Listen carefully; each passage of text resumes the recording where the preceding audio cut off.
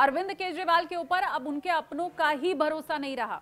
और अब ऐसा लग रहा है कि अरविंद केजरीवाल के ऊपर निशाना भी अपने साध रहे हैं और उन्हीं के चलते आम आदमी पार्टी क्या खत्म भी हो जाएगी। देखिए, बड़ी बात यह है कि राजकुमार आनंद जो कि दिल्ली में सात मंत्रालय संभाल रहे थे, उन्होंने इस्तीफा दे दिया है।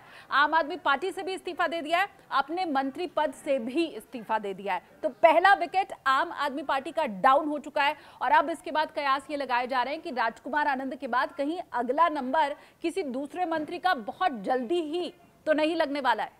बड़ी बात यह है कि राजकुमार आनंद ने इस्तीफा देते वक्त न सिर्फ़ आम आदमी पार्टी के ऊपर निशाना साधा, इशारों इशारों में अरविंद केजरीवाल को भी उन्होंने कटघरे में खड़ा कर दिया।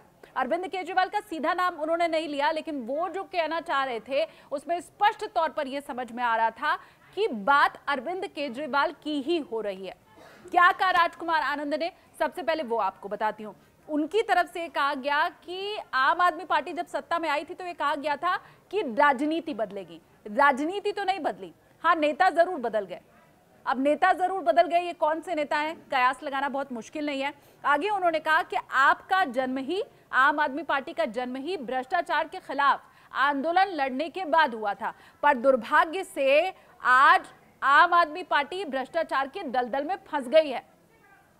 तो अरविंद केजरीवाल के ऊपर भी निशाना और आम आदमी पार्टी को भी कटघरे में खड़ा करना। दोनों बात राजकुमार आनंद ने एक साथ कर दी। फिर खुद को बचाया।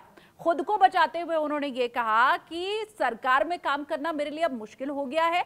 भ्रष्ट आचरण के बीच में अपना नाम मैं नहीं जोड़ना चाहता हूँ। अभी कुछ ही दिन पहले आतिशी की तरफ़ से जब प्रेस कॉन्फ्रेंस की गई थी तो उन्होंने ये कहा कहा था कि आम आदमी पार्टी के एक बहुत कद्दावर, बहुत पुराने नेता, गरीबी से जिनका ताल्लुक था, उन्हें भी अब ईडी परेशान कर रही है और कुछ पुराने मामलों में उन्हें फंसाया जा रहा है। वो राजकुमार आनंद की तरफ़ ही इशारा कर रही थी। तो पार्टी तो राजकुमार आनंद के साथ खड़ी दिखाई दी, लेकिन राजकुमार आनंद पार्टी के साथ, अरविंद केजरीवाल के साथ खड़े अब नहीं दिखाई दे रहे हैं।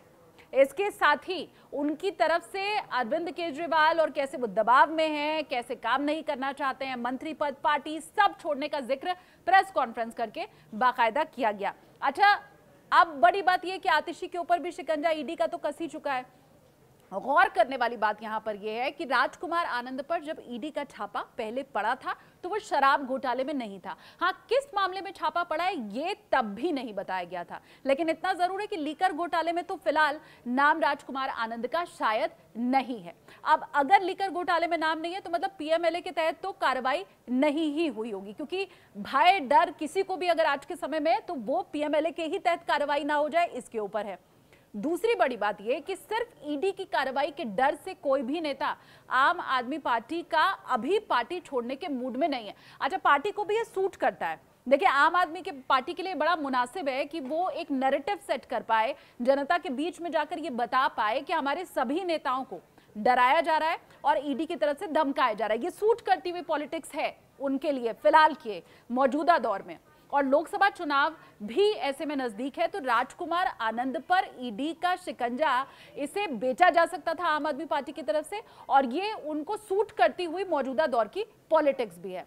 कोई नेता अगर रिजाइन कर दे तो ऐसा तो नहीं कि पार्टी ने संपर्क नहीं किया होगा या उसने किसी को बताया नहीं होगा। तो उन्हें रोकने की कोशिश भी ज़रूर की गई होगी। ये बातें आगे छन छन कर सामने आएँगी। बावजूद इसके, राजकुमार आनंद की तरफ़ से अगर इस्तीफा दिया गया है मैंने आपको बताया, भय तो नहीं होगा क्योंकि पीएमएलए का मामला है नहीं। और ये सूट करती हुई राजनीति भी है, राजकुमार आनंद के लिए भी, क्योंकि आम आदमी पार्टी है, केजरीवाल है, तभी वो है।